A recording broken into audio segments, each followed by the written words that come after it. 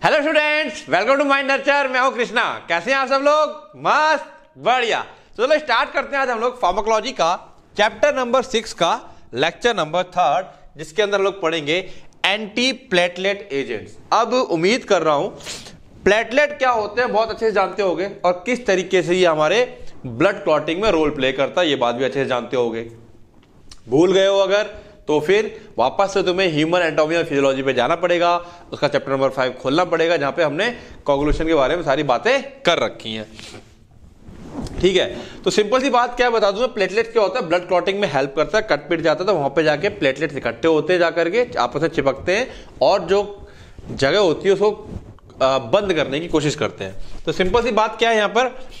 Anti platelet drugs तो anti platelet क्या करेंगे? इसी क्लॉटिंग को रोकेंगे। अच्छा क्लॉटिंग को रोकने का फ़ायदा क्या? तो अगेन जैसे लास्ट लेक्चर हम लोगों ने पढ़ा था, हमको हमारी बॉडी के अंदर क्लॉट को रोकना है, कि हमारी बॉडी में कोई क्लॉट फॉर्म ना हो जाए। तो anti platelet drugs prevent platelets from sticking together ये जो ड्रग्स होते हैं प्लेटलेट्स को आपस में चिपकने से रोकते हैं, क्योंकि जब भी प्लेटलेट्स आपस में चिपकते हैं तो क्लॉट बनता है। ठीक है? कट जाएगा, जैसे मान लो कट लगा दूँ तो यहाँ पे जहाँ कट लगा हुआ, यहाँ पर आगे प्लेटलेट्स आपस में चिपकने लगते हैं। ओके ठीक है? And decrease your body's ability to form blood clot क्योंकि आपस में चिपकने नहीं देगा तो इससे क्या होगा? बॉडी के अंदर क्लॉट हमारा नहीं बनेगा। These medication are used to treat and may help prevent इनको यूज़ किया जाता है इन मेडिसिन को ठीक करने के लिए ट्रीट करने के लिए, और रोकने के लिए हार्ट अटैक्स, स्ट्रोक, है ना? वही हमने लास्ट पढ़ा था एंटीकोगुलेंट था, उनका भी काम यही था, ठीक है? उनका काम करने का तरीका अलग था, इसका काम करने का तरीका प्लेटलेट्स के ऊपर है, इसीलिए एंटी प्लेटलेट ड्रग कहा गया है। Aspirin is the most commonly used anti platelet drug the main risk associated with anti platelet therapy is excessive bleeding ठीक है ना? एस्प्रिन सबसे ज़्यादा इस्तेमाल किया जाता है। डिस्प्रिन नहीं है एस्प्रिन है। ठीक है? डिस्प्रिन नहीं है। Okay okay. इसका सबसे ज़्यादा नुकसान क्या होता है? जो, जिसको बहुत हैवी डोज इसकी दी जाती है, अगर गलती से उसको चोट लग जाए तो फिर क्या होता है? उस कंडीशन में उसकी ब्लीडिंग बहुत देर तक होती है। Okay okay. क्लासिफिकेशन की बात करें तो कहीं ना कहीं क्लासिफिकेशन यहाँ तुमको थोड़ा सा कंफ्यूज कर सकती है। वैसे कंफ्यूज नहीं करना चाहिए। थोड़ा सी नेमिंग है इसकी, ठीक है ना? नेमिंग क्या है? प्लेटलेट्स में जहाँ जहाँ पर, जैसे कि थ्रोम्बोक्सिन सिंथेसिस इनिबिटर जो कि प्लेटलेट्स के हेल्प करती है। Platelet cyclic MP enhancer P two Y two receptor blocker अभी सबके क्या क्या काम है, देख लेंगे, अभी बता दूँगा मैं। ठीक है? मतलब कहीं ना कहीं प्लेटलेट्स को किसी ना किसी तरीके से ब्लॉक किया जा रहा है। उसको, उसके काम करने से रोका जा रहा है। ठीक है? थ्रोम्बोक्सिन की हेल्प से किया जा रहा है ये। देन साइक्लिक एएमपी की हेल्प से किया जा रहा है। Then P two Y two receptor को ब्लॉक करके किया जा रहा है। जीपी जीपी होता है ग्लाइकोप्रोटीन बी और थ्री ए एंटागोनिस्ट इनको रोक करके किया जा रहा है। अब ये क्या चीज़ है? ये यहाँ से इनके फार्मोकोलॉजिकल से चीज़ें समझ में आएँगी। तो तीन कैटेगरी है एस्प्रिन की डाइपाइरिमाडाजोल यहाँ पे टिक्लोपिडीन या क्लोपिडोजोल बहुत ज़्यादा इस्तेमाल होता है।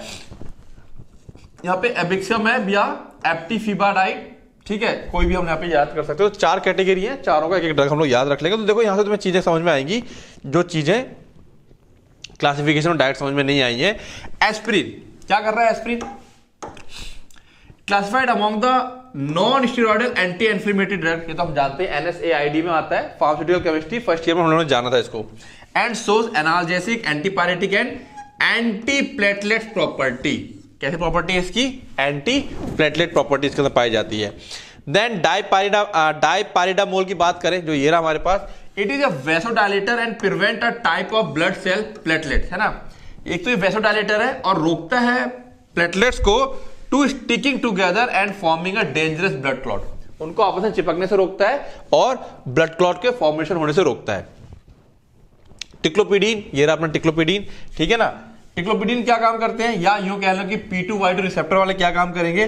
तो ticlopidine act by inhibiting the binding of ADP to platelet receptor जो P two Y two receptor पाया जाता है प्लेटलेट्स के ऊपर, उसके ऊपर एडीपी को चिपकने से रोकेगा। ठीक है? And triggering of the intercellular pathway that lead to activation of the glycoprotein second B and second A complex जब ये इसके ऊपर नहीं चिपक पाएगा, जिसकी वजह से ट्रिगर होता है, क्या एक ऐसा रास्ता जिसकी वजह से ग्लाइकोप्रोटीन सेकेंड बी और थर्ड ए बनना स्टार्ट होता है? ठीक है ना? Which causes a change in the shape of platelets and their aggregation जिसकी वजह से प्लेटलेट की शेप में चेंजेस आते हैं और उनका चिपकना स्टार्ट होता है। तो कहीं ना कहीं इसको बाइंड नहीं होने देंगे ये ठीक है ना? तो मैंने क्या कहा? कहीं ना कहीं सारी चीज़ें प्लेटलेट से जुड़ी हुई है प्लेटलेट के फ़ंक्शन से जुड़ी हुई है। अलग अलग जगह पे काम करती है तो उसी हिसाब से जो जहाँ काम करता है थ्रोम्बेक्सेन ये साइक्लिक एमपी ये पी टू वाइट रिसेप्टर और ये जीपी सेकेंड बी और थर्ड ए जो जहाँ काम करेगा उसी के हिसाब से दवाई का क्लासिफिकेशन कर दिया गया है। थर्ड की बात करें जैसे आ, F6CMAP inhibit platelet aggregation by preventing the binding of fibrinogen. ठीक है फाइब्रोजन जिसको हम लोग क्या बोलते हैं? वॉन विलब्रैंड फैक्टर भी कहते हैं and other adhesive molecule to glycoprotein second B and third है ठीक है ना? ये क्या करता है? फाइब्रिनोजेन को, अब ये तुमको थोड़ा सा क्या है कि ये क्या सर, कुछ भी पढ़ा दे रहे हो, कुछ भी नहीं पढ़ा रहा। अगर तुम्हें पूरी प्रोसेस पता होगी, जो हम लोगों ने फ़र्स्ट ईयर में सीखी है, कि अच्छा ये थोड़ा डिटेल हो गया। फाइब्रोनोजेन जाकर के इनसे बंधेगा, ठीक है? साइड्स ऑन एक्टिवेटेड प्लेटलेट तब जाकर के पूरा क्लॉट बनता है। तो अल्टीमेटली क्या होगा ये फाइब्रिनोजेन को इसके ऊपर आकर चिपकने ही नहीं देगा। कौन? एबेक्सी मैप ये क्या करता है? इनिबिट करता है प्लेटलेट एग्रीगेशन को by preventing the binding of fibrinogen and other adhesive molecule to GP second B and third A इस स्टेप में क्या होता है? सेकेंड ए थर्ड ए बनेगा। ठीक है ना? लिखा हुआ that lead to activation of the glycoprotein second B और थर्ड ए उस स्टेप के बाद याला स्टेप होता है। तो टिक्लोपीडिन याला स्टेप को रोक देगा, ये इस वाले स्टेप को रोक देगा। यहाँ पे फाइब्रोजेन का इससे चिपकना नहीं हो पाएगा, जिसकी वजह से क्या होगा? अल्टीमेटली क्लॉट नहीं बनेगा। बात समझ में आ रही है?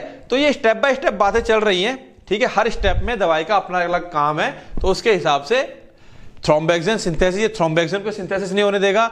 ये साइक्लिक एएमपी को इनहेंस करेगा P two Y two receptor को ब्लॉक करेगा, ये जीपी सेकेंड बी और थर्ड ए का एंटागोनिस्ट है, उस पर उसको उल्टा, उलट काम करेगा, ठीक है? जो ये काम करते हैं ग्लाइकोप्रोटीन सेकेंड बी और थर्ड ए उसको वो काम करने नहीं देगा, ठीक है?